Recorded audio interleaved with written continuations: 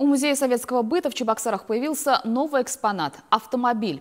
«Москвич» 74 года выпуска со 120-тысячным пробегом подарил ветеран Великой Отечественной войны, заслуженный врач Чувашии Михаил Григорьевич Сорокин. На этой ретро-модели колесили три поколения Сорокиных, и автомобиль до сих пор на ходу. Теперь он будет украшать входную группу музейного комплекса. Машина, автомобиль «Москвич-412» э, появилась здесь благодаря совету работников Национального музея, Чувашского национального музея. Они пришли сюда, осмотрели музей. Прекрасный музей, говорят, но надо вам какой-нибудь небольшой памятник установить перед музеем. Например, говорят, какой-нибудь советский автомобиль. Мы послушались, поискали, быстро-быстро нашли. За один день машину перегнали из Маргаушского района и немного подкрасили.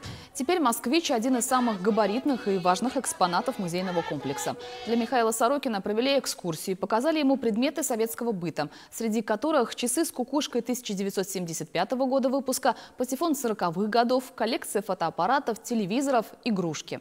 Всего же в музейном комплексе «Сделано в СССР» насчитывается более 5000 вещей времен Советского Союза. Ветеран пожелал музею развития и поддержки поддержки республиканских властей.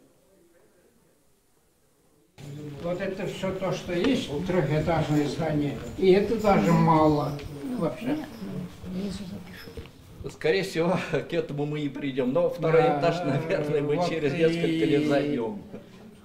Ну, если так прямо говорить, это исторический музей.